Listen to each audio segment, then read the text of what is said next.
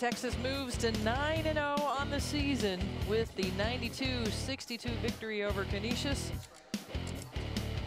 Season high 92 points, season high 56% from the field now. How it? And they did it in a variety of ways. The inside game was really working for Texas. They had a definite size advantage over Canisius, and they took advantage of it on the offensive boards, but also within their offense, looking to their bigs. There's Imani Boyette at six seven.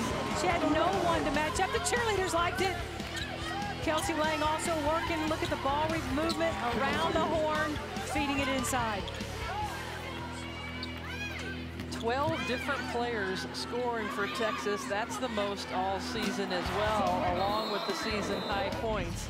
And a terrific performance by Brooke, Mc Brooke McCarty, 14 points, four of seven from three-point range. Well, she's shooting the ball so well right now, playing extremely confident, understanding the offense much better than she did last year, and it's paying off. But her long-range shooting is absolutely outstanding.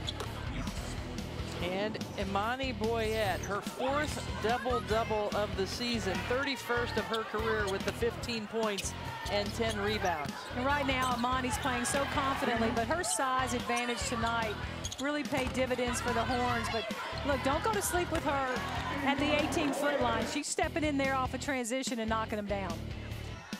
Take a look at the stats. Texas shooting 56%, their best shooting percentage of the season, holding Canisius to just 37%, out rebounding their opponent.